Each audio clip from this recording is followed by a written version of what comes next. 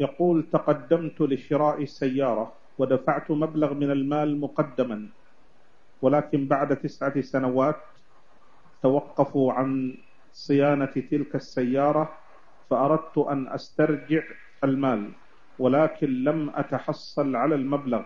فهل على المبلغ زكاة على السنوات الماضية؟ نعم. يقول تقدمت لشراء سيارة ودفعت مبلغا من المال مقدما ولكن بعد تسعة سنوات توقفوا تسع. تسع سنوات. نعم. توقفوا عن صناعة تلك السيارة. صناعة؟ صناعة. لم يوضح الخط.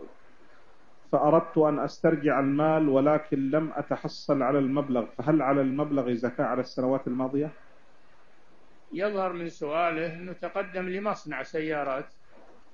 وأعطاهم قيمة السيارة ليصنعوها له. يصنعوها له هذا يسمى سلم هذا دين السلم.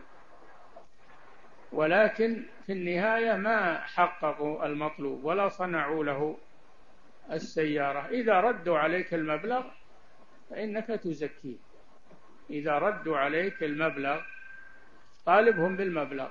طالبهم إما أن يصنعوا السيارة على المواصفات المشروطة وإما أن يردوا عليك المبلغ فإذا ردوه فإنك تزكيه